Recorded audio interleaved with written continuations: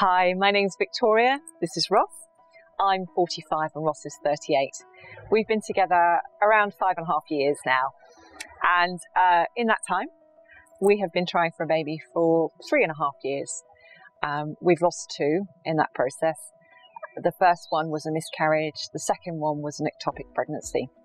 We found out that my AMH levels were very low, and I also have a number of other issues too, including endometriosis and a balanced translocation in my chromosomes, which obviously put us in a very difficult position.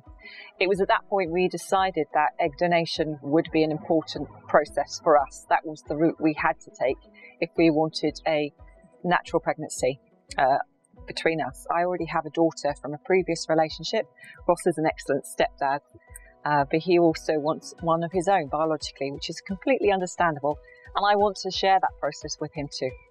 Um, so we already had one round of fertility treatment back in March with a different clinic, but that didn't go as well as we hoped it would. The clinic wasn't as we expected it would be, and unfortunately, that resulted in a negative result. Uh, yeah, negative test, wasn't it? Yeah, I think the previous place we went to, which was in Cyprus, let us down from what we hoped for and what we expected. Here's been excellent. IVF Spain is is first class all the way in terms of the uh, the communication has been so clear the whole time. We've known exactly what to expect at every step of the process. We've known exactly what's going to happen on specific days. Everything is ready as soon as you get here. There are no hidden surprises. There are no hidden costs. Uh, and it turned, it's been such a great experience coming here. Everybody speaks very good English, which for us is, is excellent, although it's been a good chance for me to practice uh, un poco of my Spanish, which is a bit rusty, but okay. Um, but yeah, the whole thing's been, from the beginning to the end of the process, really excellent. And I think anybody who's looking into this place could do a heck of a lot worse than coming here. Come see it, talk with the people. Um, and we've had the transfer this morning, so the uh, the embryo's in there right now. It's uh, day one in its new home.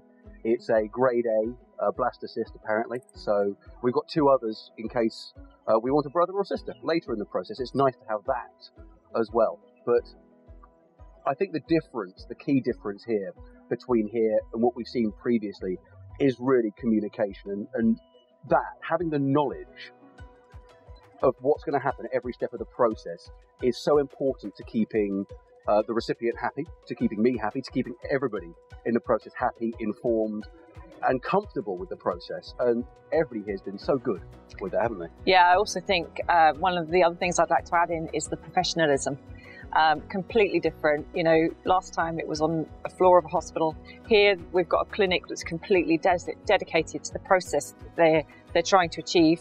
Um, they're much more. St- it's a much more sterile environment compared to what we had previously, and everything is is really particular. And I love the fact that you know where you are each stage of the process. Um, it's difficult enough in all of this trying to find information, Yeah. and if you're getting given it, getting given it properly, it makes all the difference. It's a stressful process going through the whole egg donation thing. I know for Vic, having accepted that she has to have uh, the egg donation, that makes her feel awkward, but everybody's been so great in the whole process that it's made it easy, hasn't it? Whereas before we felt awkward um, when we went to Cyprus, here every step's been easy, been perfect. Uh, and I don't think we could be happier. so thank you very much.